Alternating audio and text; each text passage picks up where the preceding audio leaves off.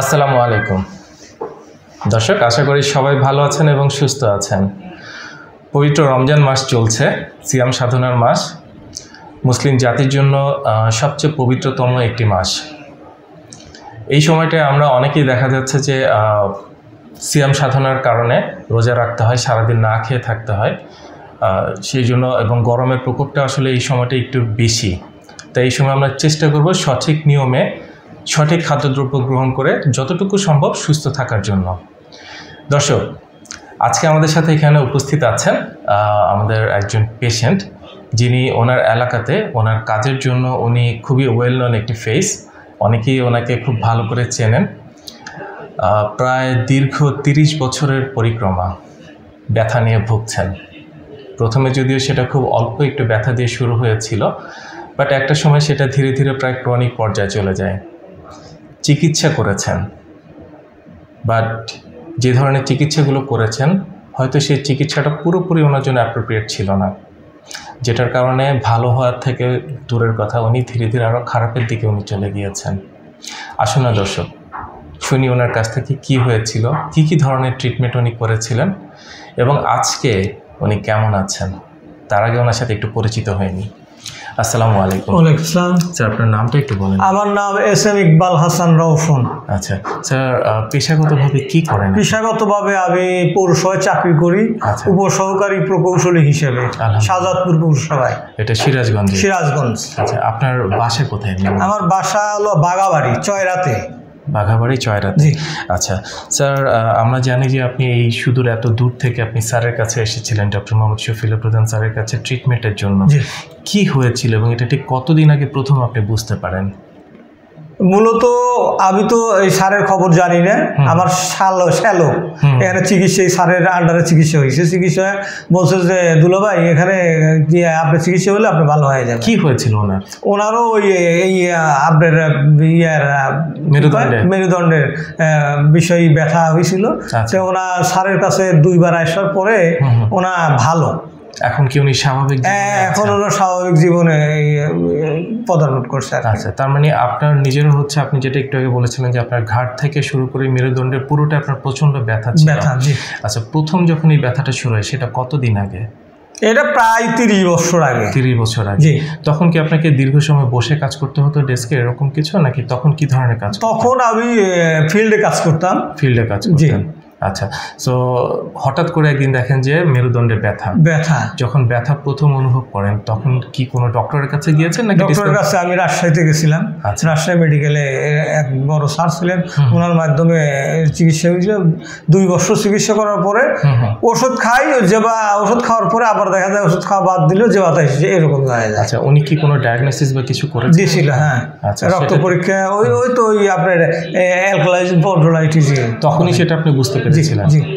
আচ্ছা সেটার জন্য উনি আপনাকে ট্রিটমেন্ট দেন বিভিন্ন ধরনের মেডিসিন দেন। কোনো ব্যায়াম বা কোনো কিছু দিন ব্যায়াম দিছিল না ব্যায়াম আচ্ছা। দিছিল বলেছেন যে ওষুধ খেতে থাকেন ইনশাআল্লাহ সুস্থ হয়ে যাবে জি জি। যখন দেখছেন ওষুধ খাচ্ছেন কিন্তু আপনার ব্যথা যাচ্ছে না বরঞ্চ আরও বাড়ছে তখন উনি কি করলেন? ওনা চেঞ্জ দুইবার করে ওষুধ চেঞ্জ করে দেওয়ার পরে আর আমরা আমি ওখানে নিজে ইচ্ছেই আমি যাইনি। যে আগ্রহ হারিয়ে আগ্রহ ফেলছি। বরঞ্চ দেখছেন আরও ধীরে ধীরে খারাপ হয়ে যাচ্ছে। আচ্ছা ব্যথাটা কি দিনের নির্দিষ্ট কোনো সময় হতো নাকি এটা রাত্রে বেশিরভাগ বারোটা রাত বারোটার পরের থেকে ব্যথাটা আরম্ভ বেশি হতো তার মানে সারা দিন শেষে আপনি যখন কাজ করে বাসায় গিয়ে খাওয়া দাওয়া করে ঘুমাতে যাবেন ঠিক তখনই আপনার এই ব্যথাটা আপনি বেশি অনুভব করতেন। আচ্ছা ব্যথাটা কি যখন শুরু হতো এমনও কি হয়েছে মাঝে মাঝে যে ওষুধ খাচ্ছেন তাও ব্যথা যাচ্ছে না এরকম হতো। রাতের পর রাত হয়তো না ঘুমিয়ে আপনি হ্যাঁ এরকম এরকম হতো। অনেক দিন এরকম হতো। যেহেতু আপনি খুব গুরুত্বপূর্ণ একটা পোস্টে আপনি আছেন সো আপনার ঘুমটা আপনার জন্য অনেক জরুরি। যদি আপনি না ঘুমাতে পারেন আপনি পরদিন দিন আপনি ভালো কাজ করতে পারবেন না। এরকমটা আসলে হয়। তো যখন আপনি ওই ডক্টরের কাছে গেলেন তার ওষুধে কাজ হচ্ছে না তখন কি করলেন আপনি? তখন আর এক ডাক্তারের কাছে গেলাম। এটা কি রাজশাহীতে? ওই রাজশাহীতেই। আচ্ছা তখন? আর এক ডাক্তারের কাছে যায় ওই ডাক্তার ওই সেম ওষুধই দিলেন। কিন্তু ওই ওই অবস্থায় যে যতদিন ওষুধ খাই ওই পর্যন্ত ভালো থাকে আবার খাওয়া বাদ দিয়ে যাবে তাই এরকমই। আবার একই অবস্থা একই অবস্থায় দাঁড়ায়। ইন দি টাইম হচ্ছে যত দিন যাচ্ছে ব্যথার পরিমাণ আরও বেশি এর মধ্যে এর মধ্যে আপনার আঠারো সালের দিকে আসলাম। আসার পরে ওনারা তো বহু ওষুধ পরীক্ষা নিরীক্ষা করল পরীক্ষা নিরীক্ষা। অনো অ্যালকালাইজিং স্পন্ডোলাইটিস। ওনার ডাক্তার সাহেব বললেন যে এটা তো একবারে নিরাময় হয় না। যে আপনি ভালো থাকবেন। এতে ভালো থাকবেন ওষুধ ইনজেকশন দিল। অ্যাডভিক্সার অ্যাডভিক্সার ইনজেকশন লাভির চার পাঁচ দিয়ে। আচ্ছা। দাম সতেরো হাজার টাকা দুই হাজার টাকা পোষ করতে নিত আচ্ছা। এমনি আপনার উনিশ হাজার টাকা একটা ইনজেকশনের খরচ হইতো। আসা যাওয়া বাদ দিয়ে। আচ্ছা। তারপরে এরকম করে তিরিশটা ইয়ে সতেরোটা ইনজেকশন নিলাম। আচ্ছা। ইনজেকশন নেওয়ার পরে ওষুধপাতি দিল দীর্ঘদিন ধরেন চার পাঁচ বছর এমনি ওষুধ খাইলাম ভালো আসছিলাম তারপর ওষুধ খাওয়া বাদ দিচ্ছি দেন। দেন আবার ফের যেভাবে ব্যথা ওই রকমই হয়। এইখানে ওনার ওই ইনজেকশন নেওয়ার পরে আবার এইটা ধরেন শক্ত হার্ড হয়ে গেল। আচ্ছা এখানে ইনজেকশনটা কোথায় দিয়েছিলেন? মানে কে দিয়েছিলেন? ওই ডাক্তার সাহেব দিয়েছিল। আচ্ছা ওনার সাজেশনে আপনি ইনজেকশনটা দেন। এবং দেওয়ার পর দেখলেন যে এই জায়গাটা পুরো শক্ত হয়ে গেছে। শক্ত হয়ে গেছে। এই মেরুদণ্ড হাড়গুলো যেগুলো আছে না ওগুলো শক্ত হয়ে গেছে। আচ্ছা। তো তখন কি ব্যথার পরিমাণটা কি আরও বেড়ে? আরও বেরি হন বেশি হয়েছে এবং আপনার মুভমেন্ট করাটা একটু কষ্ট কষ্টকর হয়, যেহেতু একটা জায়গায় যদি শক্ত হয়ে যায় তখন কষ্ট করে ন- নড়াচড়া করা খুব কষ্ট হয়। আচ্ছা তো তারপরে কি করলেন যখন তারপরে আমি ওই শালার খবর পাইলাম শালা আমাকে জানাইলো বারবারই বলছে। তো যাই হোক আমি একটু সময় করে স্যারে ইয়ার মেয়র স্যারের কাছে সময় নিয়ে ছুটি নিয়ে আমি আমার শালার সাথে করে নিয়ে এখানে আসছিলাম গত একত্রিশ তারিখে। আচ্ছা। গত একত্রিশ তারিখে স্যার আমাকে দেখে বললেন যে আপনি ভর্তি হয়ে যান আপনি ভালো হয়ে যাবেন। আচ্ছা। আমি তো সময় দিতে পারি না সাত আট দিনের মতো আমি ঢাকাতে আসছি দশ দিন ছুটি নিয়ে। তো ওই দুই তিন দিন ধরেন চিন্তা ভাবনা করতেই গেছে। তারপরে একত্রিশ তারিখে এসে আমি এখানে ভর্তি হই। ভর্তি হওয়ার পরে ইয়ার ব্যায়াম ট্যায়াম করাইতেছে থেরাপি টাইপ দেয় তাতে অনেকটাই আমার কাছে ভালো লাগতে ভালো লাগতেছে আর কি। আচ্ছা। তো আমরা জানি যে মাঝখানে যখন আপনি ট্রিটমেন্ট নিচ্ছেন নিতে নিতে একটা সময় আপনি হোমিওপ্যাথিতেও আপনি ঝুঁকে পড়েছিলেন কিছুটা। পাশাপাশি আপনি আদার্স মানে যে যখন যেভাবে জায়গায় বলেছে সেই জায়গায় ডক্টরের কাছে গিয়েছেন। ওই সময়টা আসলে কি মনে হতো যখন দেখছেন যে একের পর এক ডক্টর পাল্টাচ্ছেন? না আমার জীবন মনে হয় আর এরকম চলল না। মনে হয় ওই সময় মনে করছি যে আমার আমার জীবন রেখে কোনো লাভ নাই তো। যে ভাবি নিজের জীবন নিজেই দিয়ে জাস্ট কোনো রকমে বেঁচে ছিলেন। হ্যাঁ, বেঁচে থাকার জন্য সংসারের জন্য বা পরিবার হ্যাঁ পরিবারের জন্য হ্যাঁ নিজে বেঁচে থাকাটা। ছেলে মেয়ে আছে তো পরিবারের জন্য বেঁচে থাকা এই এই- জন্যই আছে আর কি। মানে একটা সময় কি এরকম মনে হয়েছে আসলে আমার এটার মনে কোনো চিকিৎসা নেই আমাকে সারা জীবন এইভাবেই থাকতে আমি এরকমই বুঝেছি। আচ্ছা। এরকমই বুঝেছি যে হয়তো আমার আর ডাক্তারও নিজেও বলছেন যে এই চিকিৎসা তো নিরাময় হয় না একটু দমনে থাকে। যার কারণে আমি একদম হোপলেস হয়ে গেছিলাম যে না এই অসুস্থ আর আমার জীবনে সাইল না। আচ্ছা তারপরে আপনি স্যারের সন্ধান পান এবং স্যারের কাছে আসেন। এবং স্যারের ট্রিটমেন্ট নেওয়া শুরু করে দিয়ে শুরু করছে আচ্ছা আজকে কততম দিন আপনার? আজকে হলো সপ্তম দিন। সপ্তমতম দিন। জি।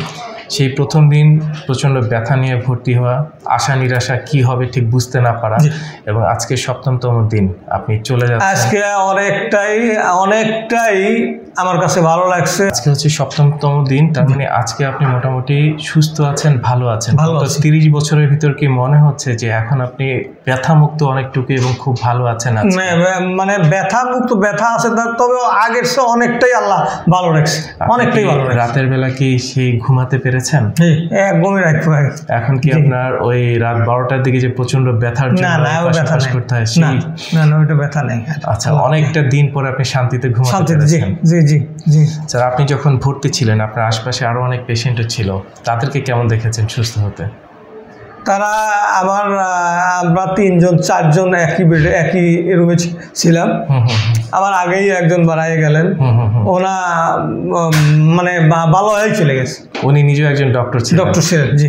এবং ওনার নিজের অসংখ্য পেশেন্ট উনি হ্যাঁ। নিজেও অনেক দিন এটার জন্য সাফার করেছেন বাট উনি। সুস্থ হয়ে উনি চলে সুস্থ গিয়েছেন হয়ে আব- আপনি আসার আগেই মানে চলে গেলাম। এবং এই এত কিছু দেখার পর বিশ্বাসটা আরও অনেক বেশি বেড়ে হ্যাঁ অবশ্যই অবশ্যই বিশেষ আমি ধরেন আমি পৌরসভায় যাই মেয়র স্যারের কাছে ছুটি নেব আরও হয়তো সাত দিন ছুটি নিয়ে এসে আবার ভর্তি হব।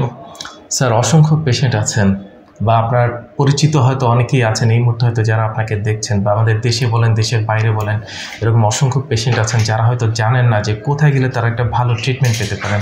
আপনার কথাই ধরুন আপনি অসংখ্য জায়গায় গিয়েছেন অসংখ্য ডক্টরের কাছে গিয়েছেন যে যখন যেখানে বলেছে তাদের কাছে গিয়েছেন বাট শেষ পর্যন্ত যখন আপনি স্যারের সন্ধান পান স্যারের ট্রিটমেন্ট নিয়ে আজকে আপনি সম্পূর্ণ সুস্থ আছেন ভালো আছেন আমার সেই সকল ভাই আমি বহুদিন বহুদিন এই রোগে ভুক্তভোগী অনেক দিন অনেক ডাক্তারের চিকিৎসা অনেক ঔষধপাতি খাইছি। কিন্তু এইখানে, এই সারের এইখানে আসার পরে আমার অনেকটাই ভালো লাগছে। আপনারা যদি কোনো ব্যক্তির, যদি কোনো লোকের যদি এরকম অসুখ থাকে, আপনারা এখানে চলে আসেন। পুরোপুরি আপনারা সুস্থ হয়ে যাবেন। আলহামদুলিল্লাহ। দর্শক, শুনলেন আমাদের এই ভাইয়ের কথা। উনি যদি ওনার কাজের কারণে, উনি ওনার এলাকায় অনেক ওয়েল নন যারা ওনার সহকর্মী তারা ওনাকে দেখেছেন। উনি কতটা কষ্টের ভিতর দিয়ে উনি জীবনযাপন করেছিলেন। যে মানুষটা একটা সময় প্রায় হোপলেস হয়ে গিয়েছিলেন যে ওনার হয়তো এই রোগের কোনো চিকিৎসা নেই। ওনার যেই রোগ সেটাকে বলা হয় এএসএ এটার জন্য উনি ধীরে ধীরে একরকম প্রায় পঙ্গুত্বের কাছাকাছি চলে গিয়েছিলেন। স্বাভাবিক কোনো কাজই করতে পারছিলেন না।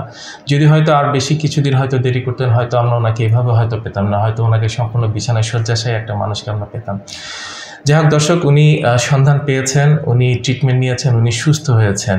এই জন্য আমরা সকলকে বলি যে আপনারা সঠিক ডায়াগনোসিস করুন এবং সঠিক ট্রিটমেন্টটা নিন। কোথায় গেলে সঠিক ট্রিটমেন্ট পাবেন সেটার খোঁজ করুন। অবশ্যই সেটার সন্ধান পাবেন। ভালো থাকবেন, সুস্থ থাকবেন। আসসালামু আলাইকুম।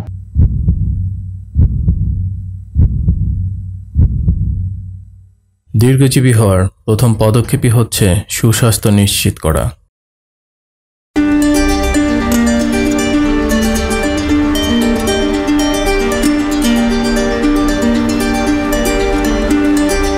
দেহ ও মন ভালো থাকলেই ভালো থাকে স্বাস্থ্য।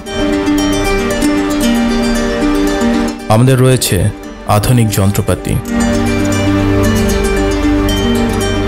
সঠিক ও স্ট্যান্ডার্ড মানের প্যাথোলজি পরীক্ষার নিশ্চয়তা। আমরা রোগীদের প্রতি খুবই যত্নশীল ও আন্তরিক।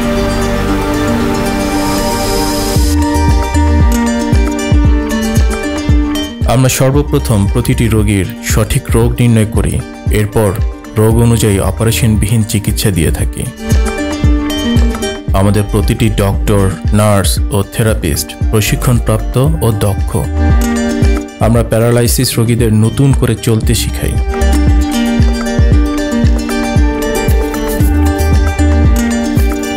আমরা আপনাকে সর্বোচ্চ মানসম্মত আধুনিক চিকিৎসা সেবা প্রদানের নিশ্চয়তা দিচ্ছি। আমরা বিশ্বাস করি আপনি এখানে আপনার নিজ পরিবারের মতোই সেবা পাবেন।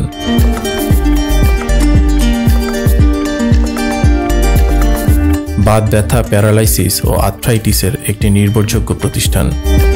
আমরা চাই না আপনারা বারবার আমাদের কাছে ফিরে আসুন তবুও আমরা আছি সবসময় সর্বদা আপনাদের পাশে TPRC hospital and diagnostic lab limited. আস্থা বিশ্বাস ও নির্ভরতায় অবিচল।